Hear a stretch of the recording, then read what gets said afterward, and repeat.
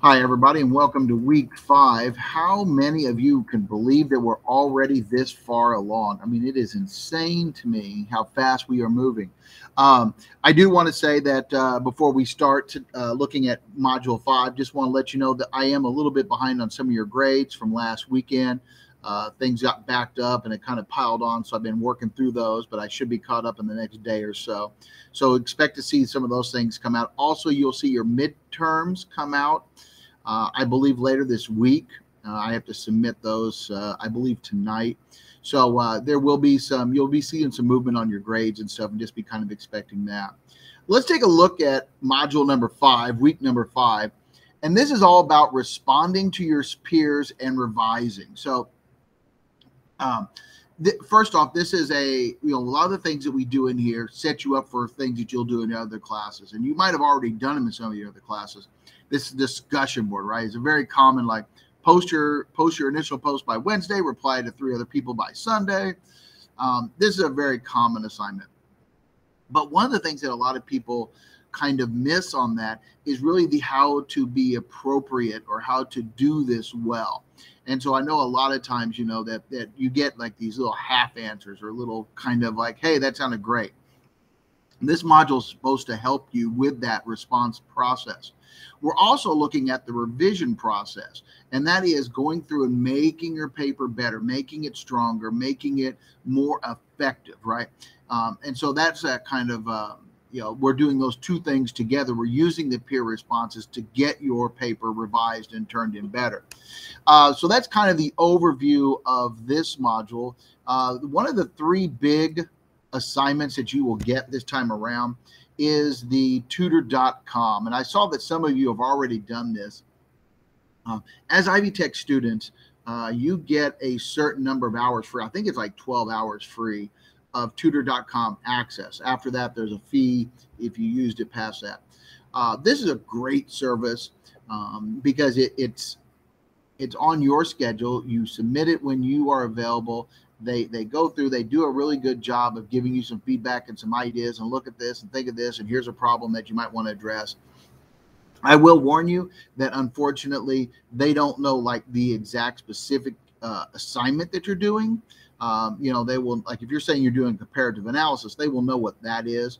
Um, but you might have to give them more specifics about what your assignment is like what you have to be doing right? They're not you know an ivy tech group uh, but they, uh, they they understand the types of papers. They just won't know your exact specific assignment. So you might have to talk them through that a little bit. For the tutor.com activity there are two things that you will do. Uh, you will log on you will do the tutoring session with them. Um, at the end, you will have the option to get an email, um, uh, a transcript emailed to you uh, of your conversation. You will want to get that. You want to copy that and paste that in uh, and turn that in to me. Also, this reflection piece, and this is like 150, 200 words. It's not horribly long, half page, a little bit more. And it just reflects on these questions right here this idea of what worked well and what could have been better. And did they provide you any useful feedback, right? What was the feedback that most resonated with you? Uh, so there's a set of questions there to, to work through. I don't expect to see each of those questions answered necessarily. I don't see like a question and then an answer typed out, but that you hit that kind of reflection. You're looking back and you're saying, hey, I was on there. I got this. This is what I enjoyed about it. This is what I thought was good. This is what I didn't get. What was I really looking for? So it's just that kind of reflection. Again, it's only a half a page or so. Uh, it's not horribly long. All right. Uh, that's one of the assignments. And the next assignment then will be this, the peer response. Uh, and I saw that most of you have already posted your papers in um, the discussion board so that others can view that. And that is excellent. I love that already. Um, and I'm starting to see some responses trickle in. As you are looking for people to respond to, some things to think about. Um, I would really recommend that you find people that are maybe using articles different than yours, uh, because I think that gives you a fresh perspective, right? And gives them some better feedback. Because you know, one of the things that they have to do is they have to be able to say, "Here's an article, and here's what I found in it," right? And then do that comparison piece. Well, if it's an article you're already familiar with, you're going in with some preconceived notions, or you're filling in some holes that maybe they've left, right? So, one of the things I would suggest as you're going through and looking for those discussion boards or finding some people that use some articles different than yours.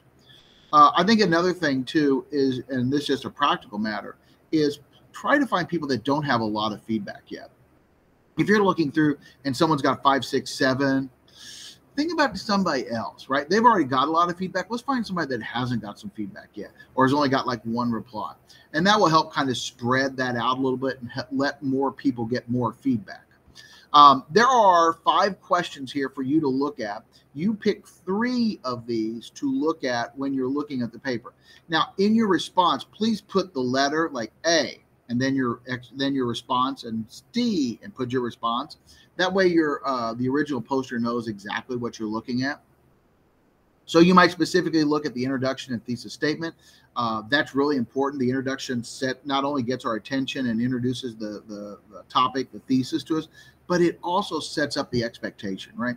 If your paper, if your introduction is really flat and straightforward and bland, your audience is going to expect the rest of the paper to be that as well, right? And then what happens if they get this really bland start, but then the paper is like high energy and lots of information and really fun? There's a mismatch, right? And so your reader has some difficulty with that. Um, it also kind of sets up that negative impression, right? Like, oh, this is going to be awful. So the introduction is really important because it sets up that tone for your reader, gets them engaged early. The comparative analysis, that's the actual process of comparing the different points and saying, here's what this one had and here's what this one had. How are they similar? And then why does that really matter? Why is it significant that they share that common element, right? Um, appropriate and sufficient support. Did they really back up their claims? They said this. Did they really provide enough information? Did they really provide the, the, the support you needed as a reader to fully buy into what they were saying? Organization, pretty again, that's pretty self-explanatory was the presentation of that argument well done, well rounded? Was it logical? Was it presented in a way that walked you through and gave you the information you need? Or you could look at just like, hey, here's one big thing I found. Here's something that like I see this. I really would suggest that you think about revising this. Now, one of the things about your uh, when you are replying to people or when you are looking at your uh, responses, the responses that you get back from others, first off, remember that's just feedback. That's one person's reaction to your writing, and they may or may not have read it very well before they responded to it. And so I want you to keep that in mind. Like these are suggestions and feedback; they're not gospel truth. So if they say, I would really change this, or I think I'd add this, or I do, take that in, you know, take that, consider that, weigh your options, look at your other feedback. All right, just because somebody says that I would do blank doesn't mean you have to do that blank item, right? So please kind of keep that in mind that you know you are trying to use all the feedback, but it is your paper in the end. It's not theirs. Also, remember, and I said this before, we want to keep that language neutral. We want to look at specifics hey, in paragraph three, I said I saw this. We want to use that neutral language. Like, I felt that this wasn't the most effective. Uh, maybe there was a better way of saying this. Uh, I really like this idea, but we could use some more support. Really think about the way that your responses come across. All right. If you're like, that sucks, or I hated that, or this is awful, you need to fix that. You know those come across on a different level. Those aren't constructive. That's just criticism. And so you really want to make sure that the comments that you're giving really kind of help that reader or that writer get better and improve that paper. And by the way in your responses i am not opposed to you finding some things that they did well right? Like hey you know when you're doing the introduction you're making those comments like this was great. This is what i i loved i love this. I loved how you did this. Keep expanding on that. Build that out more right? Uh, the last big assignment that you have for this module is the actual final draft of the comparative analysis. Some things to remember when you're doing this obviously style mla or apa you have to have it in that style use those citations use that reference or works cited page you know that's those are easy points Make sure that you've done that. When you're doing your comparison, you really want to answer that question of the why. Okay. It's not enough to say, here's a thing and here's a thing that they both share, or here's a thing and here's a thing that need, you know, they that's, you know, different from each other. That's part of the assignment. The real significance is the analysis. That's what we're really looking for. Okay. These two items share the same thing. They both looked at the same topic, but in totally different ways for totally different reasons. Why is that significant? Why is that important to know? What does that say about those two articles? The analysis piece is the most important element in this uh, in this writing. Um, I don't know if there's like a magical number necessarily. I won't be going through and like, oh, look, you know, 30% this and 20% that. But I would really assume, since it says analysis in the title, you know, you're probably spending the bulk of the paper. So maybe half of the paper on that analysis piece, on your explanation of what you saw and why that was so important. Okay. So definitely make sure that you're focusing in on that.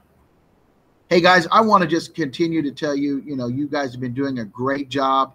Uh, there's been a lot of really good stuff that you've been doing. Uh, I've been totally impressed. I've been also super impressed with the fact that you guys have been keeping up with everything.